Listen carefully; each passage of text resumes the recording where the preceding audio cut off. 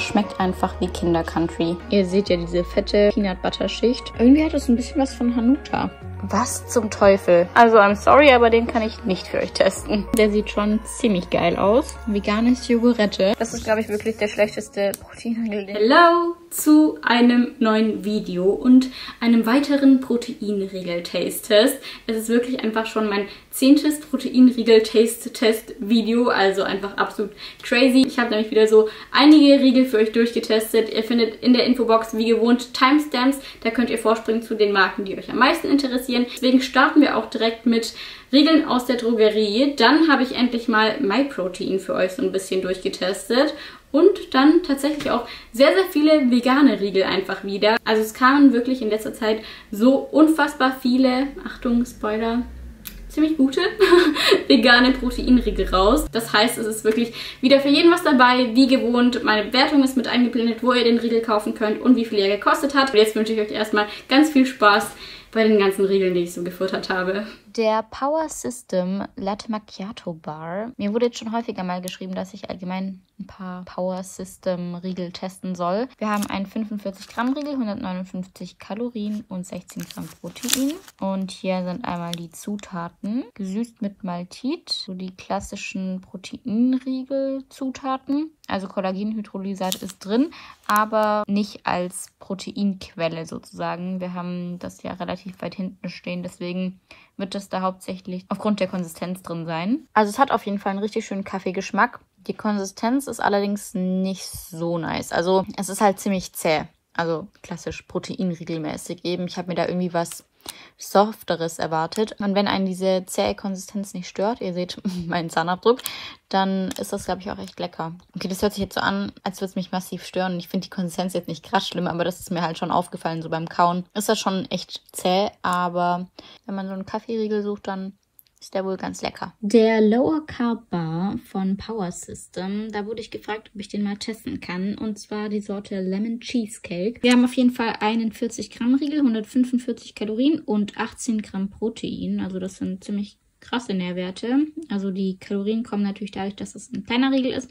Aber darauf 18 Gramm Protein ist schon ziemlich gut. Und deswegen schauen wir auch hier mal direkt auf die Zutaten. Milcheiweiß, dann haben wir weiße Schokolade und ansonsten gesüßt mit Maltitssirup, Sucralose. Riecht schon sehr zitronig. Also der hat auf jeden Fall eine tolle Konsistenz. Ist äh, schön fluffig und schmeckt wirklich nach einem Lemon Cheesecake. Haben die mega gut getroffen, muss ich sagen. Doch, also der ist echt, der ist gut. Kann ich euch empfehlen. Ich habe hier nochmal einen Riegel von Power System und I'm sorry, mein Papa saugt gerade im Hintergrund. ähm, ja, ein Lower Carb Bar in der Sorte Karamell Erdnuss. Wir haben 45 Gramm Riegel, 182 Kalorien und 15 Gramm Protein. Gesüßt wird mit Maltit. Ansonsten haben wir hier auf jeden Fall die gerösteten Erdnüsse. So schaut er aus und er riecht nach Snickers. Also den muss ich sagen, finde ich vor allem konsistenztechnisch nicht so stark. Also dieses klassische Proteinriegelzäh und dann auch noch hart dazu. Also, I don't know. Konsistenz ist nicht so gelungen. Geschmacklich, also wir haben schon einen schönen Karamell.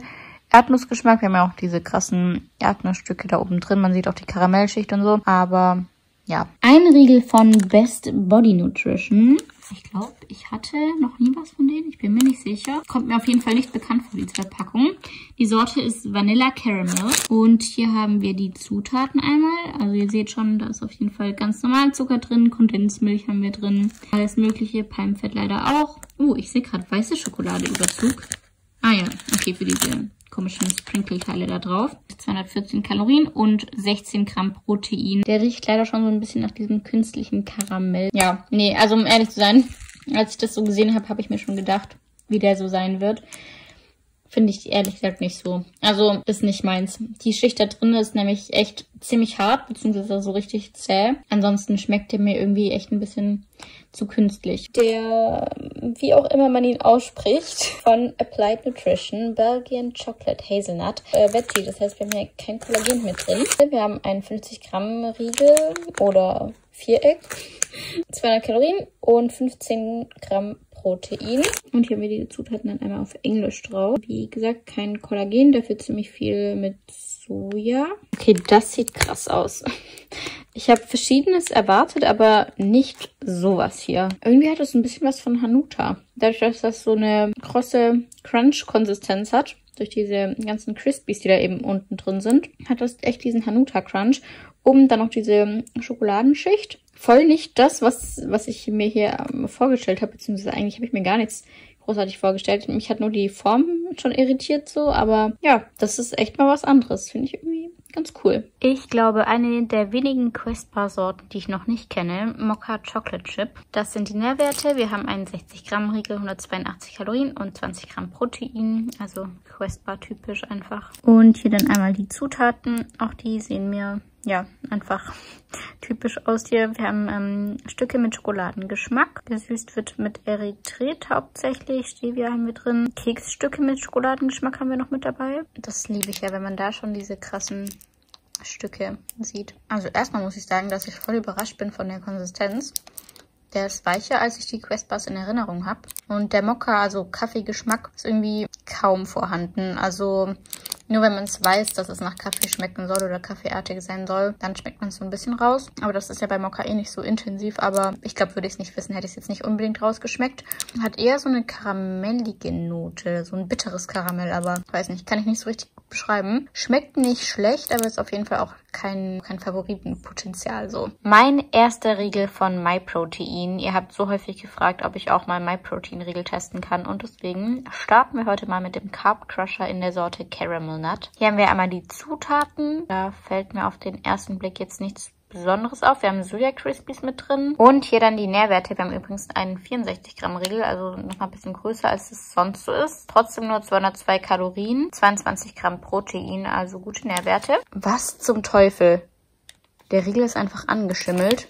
Ähm, der ist aber noch haltbar. Also wir haben heute, ihr seht die Videos ja immer später, heute ist der 27. Februar. Wow. Also I'm sorry, aber den kann ich nicht für euch testen. Und der nächste MyProtein-Riegel. Hi, kurzer Einschub aus dem Schnitt. Ja, das ist tatsächlich dieselbe Person, die ihr im Intro gesehen habt.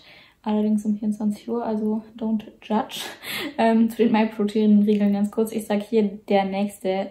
Ähm, und später sage ich dann, dass das mein erster ist nach dem kleinen Fauxpas. Also nicht verwirren lassen. Ich habe da an der Reihenfolge ein bisschen was geswitcht, damit wir gleich mit den ganzen veganen Regeln auf einmal durchstarten können.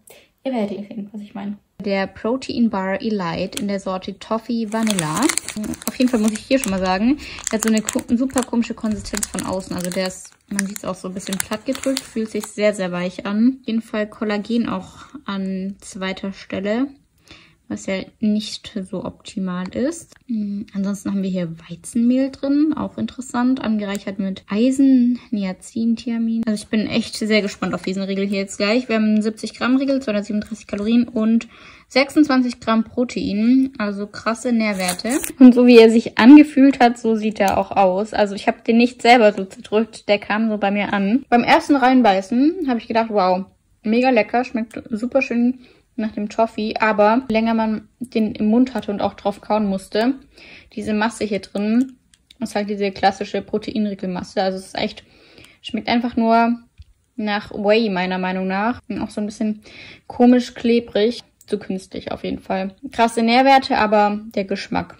leidet halt dann auch drunter. Und die zweite Sorte, die ich von diesen Elite Bars habe, Caramel and Hazelnut. Ihr wisst, Haselnuss bin ich Fan von. Und auch hier wieder die Nährwerte. Wir haben wieder einen 70 Gramm Riegel, 244 Kalorien und auch hier, steht drauf, ich glaube vorne stand es auch, 26 Gramm Protein, 4% geröstete Haselnüsse. Dann haben wir auch wieder das zuckerfreie Karamell. Also der sieht deutlich besser aus. Okay, mag ich vermutlich, vor allem aufgrund der Haselnussstückchen, die wir da noch mit drin haben.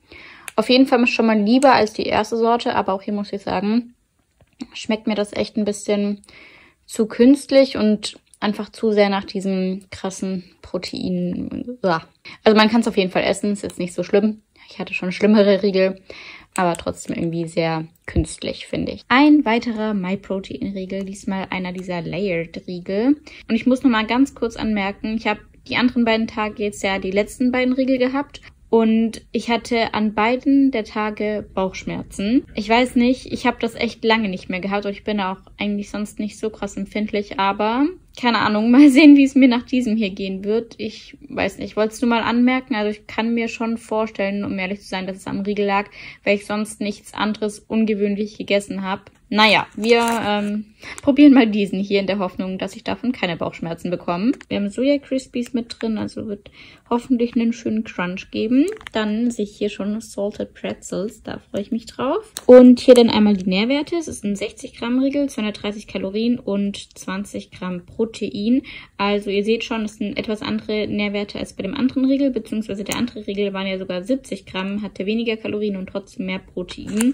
Aber ich gehe mal davon aus, hier wird eher der Fokus dann auf dem Geschmack liegen. Also so schaut er aus. Vielleicht kann ich das auch ganz gut dann mal mit den veganen jetzt vergleichen. Ihr seht ja diese fette Peanut Butter Schicht. Und das ist schon sehr geil. Also ich muss auch sagen, hier ist die Konsistenz jetzt mal deutlich angenehmer. Ist ein schöner Geschmack, auch nicht zu künstlich. Wir haben hier unten auch schön Schoki-Geschmack mit drin. Oben dann die Brezeln drauf. Also der ist lecker. Ich muss aber sagen, irgendwie habe ich den veganen noch mal einen Ticken leckerer in Erinnerung. Eine weitere Layered-Sorte. Diesmal Cookies and Cream. Kleines Update. Von dem letzten Riegel habe ich keine Bauchschmerzen bekommen. Basis wird jetzt gleich bleiben. Ansonsten haben wir Dark Chocolate Chips. Sea Salt ist mit drin. 227 Kalorien und 20 Gramm Protein. Okay, ich muss zugeben, der sieht schon ziemlich geil aus. Also der ist lecker. Gefällt mir, glaube ich, sogar noch einen Ticken besser als die erste Sorte sogar. Und ich vermute, es liegt an der weißen Schokolade. Und mein letzter Riegel von MyProtein, da habe ich mir natürlich eine etwas besonderere Sorte aufgehoben. Birthday Cake. Auf jeden Fall schon mal ein Low Sugar Caramel Sugar Strands. Das sind wahrscheinlich diese Streusel da oben drauf. 219 Kalorien und 20 Gramm Protein. Also das sieht halt wirklich ultimativ nach Kindergeburtstagskuchen aus. Ist auch lecker. Mir persönlich aber einfach ein bisschen zu künstlich. Kann mir aber vorstellen, dass es einigen schmecken könnte und schmeckt halt auch absolut nicht nach Proteinriegel. Abschließendes Fazit zu den MyProtein-Riegeln. Ich glaube, die einzigen, die ich mir tatsächlich davon nachkaufen würde, jetzt so rückblickend betrachtet, wären die veganen. Die hier, die Layered, die sind zwar auch lecker, aber irgendwie nicht so nicht so krass für mich, dass ich sie mir nachkaufen müsste. Wisst ihr, wie ich meine? Und bei den veganen für vegane Proteinriegel fand ich die halt schon ganz gut. Sind nicht schlecht. Für mich gibt es aber einfach bessere Riegel. So, nach dem Fail das letzte Mal. Jetzt hoffentlich mein erster MyProtein-Riegel. Und ich habe mir direkt auch einen veganen geschnappt in der Sorte Chocolate Peanut. Das sind einmal die Zutaten und ich finde, die sehen irgendwie schon sehr interessant aus. Protein kommt auf jeden Fall aus Erbsen, Reis und Sojaprotein. Ansonsten haben wir hier Toasted Soy Spread, was auch immer das ist. Also vielleicht einfach wie so ein Sojanussbutter. Keine Ahnung, so hört sich das irgendwie ein bisschen für mich an. Dann haben wir Schokolade außenrum. Hier gesalzene Brezeln 3%. Wir haben einen 60 Gramm Riegel, 237 Kalorien und 16 Gramm Protein. Allein das sieht schon sehr geil aus. Also vor allem für einen veganen Proteinriegel sieht man sowas echt selten. Okay. also die Brezeln da oben drauf lenken zumindest ganz gut von der Masse sonst ab. Denn diese Masse hier drin, also das Hauptteil, da schmeckten halt schon dieses vegane, sandige sehr intensiv raus, also deutlich intensiver, als ich es jetzt bei anderen veganen Proteinriegeln hatte. Hauptmasse, was das angeht, da gibt's auf jeden Fall bessere. Aber ich finde halt wirklich, wie der Riegel so zusammengestellt ist, ist halt echt mal was anderes. Das heißt, dafür gibt's auf jeden Fall einen Pluspunkt. Aber so an sich, die Masse ist halt echt ja, jetzt nicht so geil. Und die zweite Sorte, Chocolate Sea Salt. Hier haben wir einmal wieder die Zutaten. Die Basis wird gleich geblieben sein. Hier mit das Karamell. Ansonsten ja auch wieder dunkle Schokolade außenrum. Kakaonips sehe ich hier noch. Und hier dann einmal die Nährwerte. 217 Kalorien und 15 Gramm Protein. Hat hier auf jeden Fall eine bessere Konsistenz. Ist nicht ganz so trocken, sandig wie bei der ersten Sorte. Vielleicht kommt das aber auch durch diese Karamellschicht. Bei dem anderen Riegel hatten wir da so eine Peanut Butter Schicht. Man schmeckt das Salz leider nicht so raus. Ich fand halt die erste Sorte mit diesen Brezelstückchen krasser. Also, wenn die da die Konsistenz genauso noch hinbekommen wie hier, dann wäre die erste Sorte mein Favorit. Aber so sind die beide, glaube ich, gleich auf. Ich habe hier nochmal eine weitere Sorte von den My Protein Vegan Carb Crushern. Und zwar Banoffee, also Banane, Coffee, glaube ich.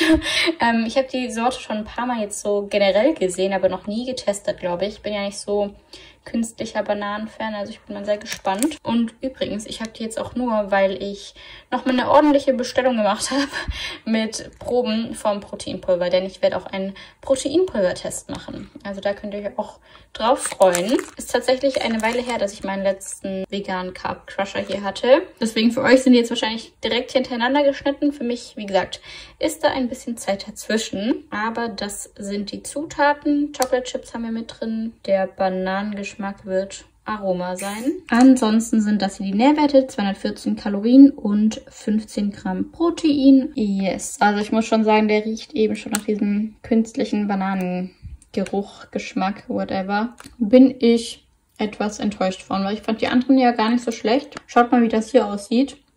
Wo ist die Karamellschicht? Und auch das innen drin ist diesmal sehr, sehr pappig, sandig irgendwie. Schon dieser künstliche Bananengeschmack.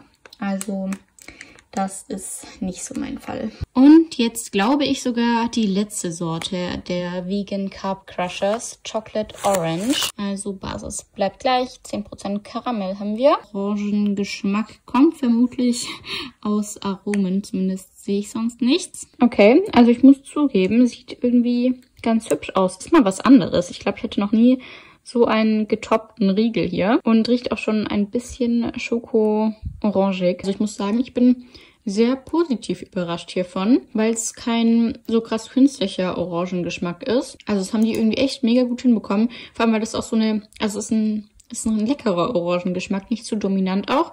Wir haben hier jetzt auch wieder so eine Karamellschicht drin. Die hatte ich im letzten Riegel ja nicht, obwohl da auch eine hätte drin sein sollen. Den finde ich überraschenderweise sogar sehr lecker. Ein bisschen sandig, ähm, mehlig innen drin, aber mal was anderes und würde ich, glaube ich, sogar nochmal bestellen, wenn ich da nochmal bestelle. Achtung, Voice-Over. Es gibt neue Riegel von Rocker Nutrition und mein Paket ist angekommen, während ich eine Vorlesung hatte. Ich wollte aber direkt unbedingt testen, deswegen Voice-Over.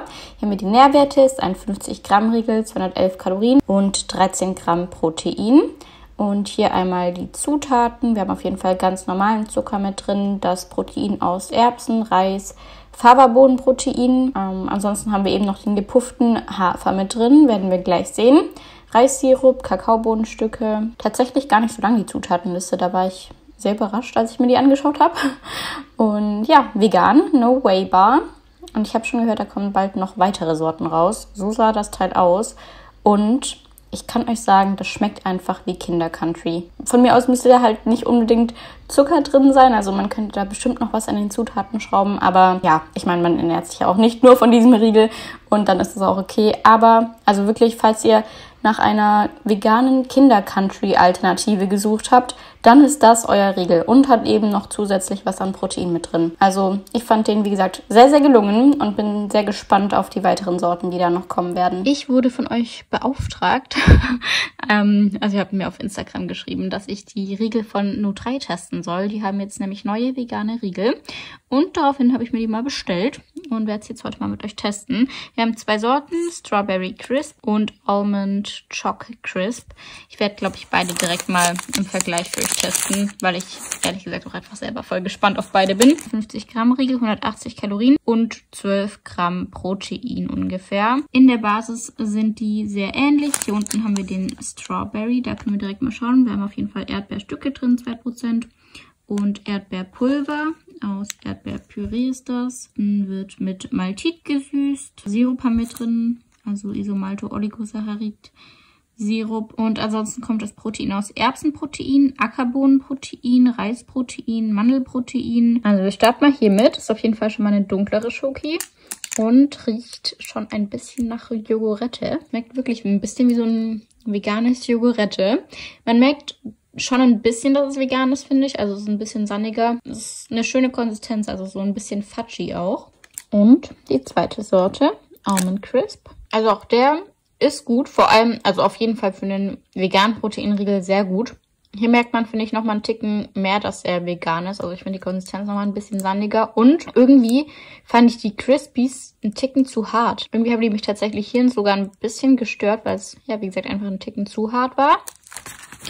Aber sind beide auf jeden Fall mega gut. Also vor allem, wie gesagt, für vegane Proteinriegel. Trotzdem, ich muss tatsächlich sagen, Der hier oben mit Strawberry ist mein Favorit. Was ich nicht gedacht hätte, weil ihr wisst, ich bin sonst eigentlich eher so Team Schoki, Nuss und sowas alles. Aber hier, das Fruchtige, Finde ich echt geil. Also mir gefällt die Konsistenz da einfach einen Ticken besser. Ich habe hier nochmal einen veganen Riegel von Foodspring. Ich habe ja schon zwei dieser veganen Riegel hier probiert von denen. Haselnuss Amaranth und Schoko.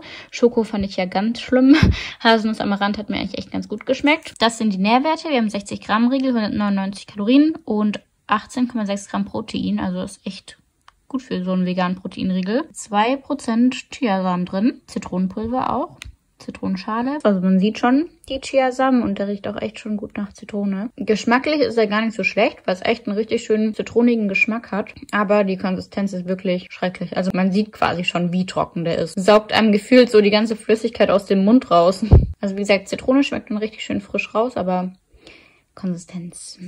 Mal wieder ein neuer veganer Proteinriegel und zwar von Pulsin Balanced Nutrition, ein Peanut Chocolate Riegel. Hier haben wir Zutaten und Nährwerte. Es sind 50 Gramm Riegel, 231 Kalorien und 12 Gramm Protein, also jetzt nicht unbedingt die besten Werte. Auf jeden Fall schon mal 27% Erdnüsse, 6% Erdnussmus, Erdnussmehl haben wir noch mit drin. Gesüßt wird mit dem Naturreismal, Xylit in den Schokostückchen, Agavendicksaft. Der riecht auf jeden Fall schon richtig, richtig schön erdnussig, schokoladig. Also der erste Biss war auf jeden Fall super lecker. Ihr seht auch, wir haben hier echt richtig schön viele Schokostückchen drin. Je weiter man da drauf rumgekaut hat, desto mehr ist irgendwie dieser Erdnuss-Schokogeschmack leider verflogen. Aber ich glaube, ich finde den trotzdem ganz gut. Also ihr seht auch, wir haben echt diese krassen Erdnussstückchen da so drin, wie so gehackte Erdnüsse. Und die Konsistenz ist eben auch nicht so sandig oder so. Also ich glaube, finde den ganz lecker. Ist mal was anderes irgendwie. Ein veganer Proteinriegel von Viti. Habe ich noch nie was gehört von der Marke. Ich habe die in einem Online-Shop entdeckt und dachte, kann ich mal probieren. Das sind auf jeden Fall die Zutaten. Das Protein kommt aus Reis- und Erbsenprotein. Ansonsten haben wir Cashewmus, mh, gesüßt mit Agavendicksaft. Ah, hier tatsächlich dann auch aus Weizenprotein. Wir haben 48 Gramm Riegel, 187 Kalorien und 15 Gramm Protein. Jetzt muss der nur noch schmecken. Ich habe es aber gerade schon gerochen. Also es riecht halt echt ziemlich krass nach Erbsen- und Reisprotein. So stellt man sich den typischen veganen Proteinriegel vor. Super hart und sandig und schmeckt einfach nur nach dem Erbsenprotein. Also, I'm sorry. Aber der ist überhaupt nicht gut. Das ist, glaube ich, wirklich der schlechteste Proteinriegel, den ich bisher hatte. Ein weiterer veganer Proteinriegel von The Beginnings. Ich kenne die Marke zwar, aber ich wusste nicht, dass sie Proteinriegel haben. Hier ist Sorte Peanut. Und das sind auch einmal direkt die Zutaten. Ich sehe gerade direkt, wir haben in der Erdnussbutter auch Zucker mit drin. Ansonsten gesüßt mit Datteln und Agavensirup. Protein kommt vermutlich hauptsächlich tatsächlich auch aus den Erdnüssen und eben dem Erbsenprotein, was wir hier noch mit drin haben. Und dann sind das die Nährwerte. Wir haben hier einen 40 Gramm Riegel, müssten ein bisschen weniger als 200 Kalorien sein, so 190, keine Ahnung, und um die 8 Gramm Protein. Und so schaut er aus. Also die Konsistenz ist top, man merkt auch null das Erbsenprotein da drin. Allerdings hat das so eine komische Süße. Also ich kenne ja sowohl Dattelsüße als auch die Süße von Agavensirup, aber ich weiß nicht, das hat, das hat irgendwie eine ganz komische, einen echten komischen Nachgeschmack hinterlässt das. Und mir ist es tatsächlich auch ein bisschen zu süß. Also ist okay. Kann man auf jeden Fall essen, gibt aber definitiv auch bessere vegane Proteinriegel. Bei Koro gibt es noch ein paar mehr Nussriegel inzwischen, beziehungsweise in dem Fall ist es ein Nut Butter Bar, den ich mal testen wollte, in der Sorte Tahin. Wir haben einen 30 Gramm Riegel, hier nur die Nährwerte auf 100 Gramm, aber es sind 108 Kalorien und 2,7 Gramm Protein. Also es ist kein Proteinriegel, sondern wie gesagt ein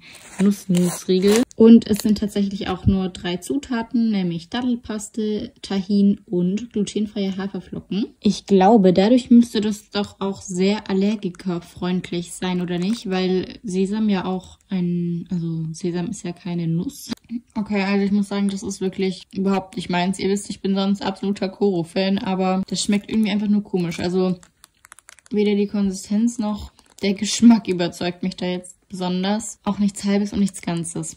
I don't know. Ich habe hier nochmal einen weiteren Riegel von Koro. Diesmal ein Flapjack in der Sorte Kakao, also so ein Haferriegel. Das sind einmal die Nährwerte. Wir haben 60 Gramm Riegel, also es sind um die 250 Kalorien und ja etwas mehr als 5 Gramm, wahrscheinlich so 6 Gramm Protein. Haferflocken, Agavensirup haben wir zum Süßen drin, dann Cashews, leider Sonnenblumenöl, Kakaopulver, ähm, Kakaokernbruch und Salz. So schaut er aus. Ich muss sagen, ich esse so Riegel irgendwie ultra selten. Also ist irgendwie eigentlich nicht so mein Geschmack. Aber ich dachte, wenn Koro sowas schon mal hat, dann muss ich das doch auch mal testen. Also auf jeden Fall schon mal schön kakaoig. Ich weiß nicht, also für mich schmecken irgendwie alle Flapjack sehr ähnlich. Einfach eben extrem nach Haferflocken. Irgendwie sind Flapjacks für mich nicht so krass besonders. Was ich hier halt ganz cool finde, ist, dass wir die Nüsse drin haben, wie ihr sehen könnt, und die Kakaonips. Dadurch kommt ein bisschen Crunch zumindest mal rein. Also falls ihr Flapjacks mögt, dann kann ich euch den empfehlen. Dann ähm, schmeckt er euch sicherlich. Aber ja, für mich jetzt nichts Besonderes. Ein weiterer Riegel von Koro und zwar die geile Schnitte. Ich weiß nicht, ob sich der ein oder andere von euch noch dran erinnert. Die hatten ganz, ganz früher schon mal eine geile Schnitte im Sortiment. Die war aber mit Oblaten und die hier ist jetzt mit Schokolade. Ich bin ja eigentlich nicht so der Kokos-Fan. Achso, ist übrigens ein Kokos. Riegel. ähm, wird eigentlich nur durchs Bild ersichtlich. Hier haben wir einmal wieder die Nährwerte, stehen mal wieder nicht pro Riegel drauf, aber sind, glaube ich, um die 150 Kalorien und nicht sonderlich viel Protein, also ein bis zwei Gramm. Und das sind die Zutaten. Gesüßt wird hier mit Reissirup, die Schokolade mit Kokosblütenzucker, also super soft innen drin. Ich glaube bei Bounty, wie gesagt, ich bin jetzt nicht so der Bounty-Fan. Ich weiß nicht, wann ich das letzte Mal ein Bounty gegessen habe. Ich glaube, da ist die Schokolade halt auf jeden Fall anders. Aber ansonsten erinnert es mich schon ziemlich stark daran. Also für alle Kokos-Fans ist das halt wirklich der perfekte Riegel, würde ich sagen. Ein Rhubar in der Sorte Coconut und diesmal auch Chocolate Covered. Ich hatte ja schon ein paar Rhubars. Ich glaube, das müsste bestimmt in einer meiner allerersten Riegeltests überhaupt sein, weil ich hatte jetzt schon ewig keinen mehr gegessen. Aber noch nie Chocolate Covered. Gesüßt wird mit Reissirup, ansonsten eben ja, sehr viel mit Kokos. Wir haben einen 30 Gramm Riegel, 142 Kalorien und 1,7 Gramm Protein. So schaut er aus. Ich habe irgendwie ein bisschen dunklere Schokolade erwartet. In der Kamera sieht ihr das jetzt gar nicht richtig. Aber die ist schon eher heller. Also ist halt wieder wie so ein gesundes Bounty quasi, wie der von Koro auch. Ich habe die Schokolade von Koro allerdings auf jeden Fall besser in Erinnerung. Also die hier finde ich irgendwie nicht so gut. Schmeckt echt sehr so fettig, kakaoig, wenn ihr wisst, wie ich meine. Und auch ansonsten ist mir das einfach ein bisschen too much. Kokosnuss. ja, ich bin ja nicht so krass Kokos-Fan. Manchmal mag ich es ganz gerne, wenn so ein bisschen Kokos mit drin ist, aber hier ist mir das einfach zu viel. Es gibt ein neues Produkt von Lini Spites. Ich weiß nicht, ob ihr euch noch daran erinnert. Falls ihr den Test damals gesehen habt, in einem meiner allerersten Riegeltests habe ich die Lini Spites Riegel getestet. Inzwischen gibt es ja auch noch die Spreads, die habe ich euch auch schon mal gezeigt. Die liebe ich auch sehr.